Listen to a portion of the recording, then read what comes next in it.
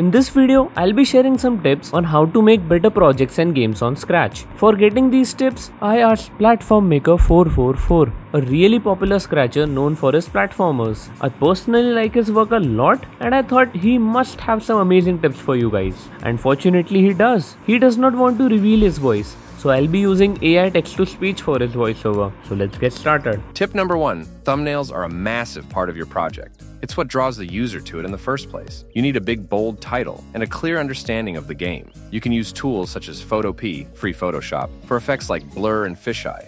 Now I have made multiple videos on making thumbnails on Scratch. I would highly recommend you checking them out from the respective links in the description. Tip number two keep your code clean. Sometimes people want to see how your projects work and if they are greeted with messy, unorganized code, then they won't know what's going on.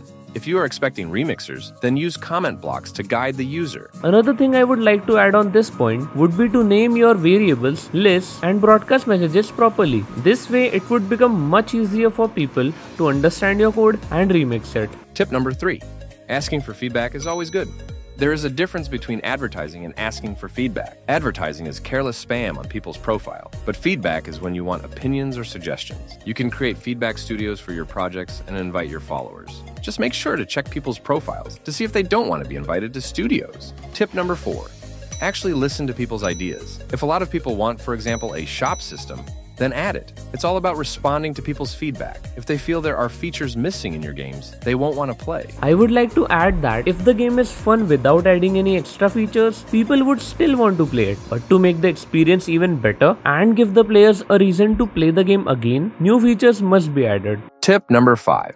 Don't use generic music. Find something that fits the theme of your game. Look on pixabay.com for royalty free music.sfx downloads. This is the same for art. Making art in the editor is far better than using the costume library. It makes your game look unique and professional. I strongly agree with this step. You can literally put any song in your projects. Take advantage of that and start using the songs you want. Tip number six if you're bad at art but brilliant at coding, itch.io will solve your struggles. Here you can find loads of free assets, tile sets, and more, which you can use in your Scratch projects. Tip number seven the little details count.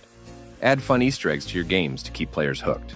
Small effects like smooth movement really make your game look so much better. I would highly recommend checking out my game Aeroplane on Scratch and really see how many little details I have added in that game. You might not particularly notice them while playing, but if I remove them, the game will instantly feel less fun. Tip number 8. Subscribe to McVincient right now or Griffpatch will throw beans at you. Oh, I wasn't expecting that to be a tip, but true. Real tip number 8. Earn your followers. I don't agree with the follow for follow strategy because you didn't work for your followers. It's just a lazy practice that should be avoided.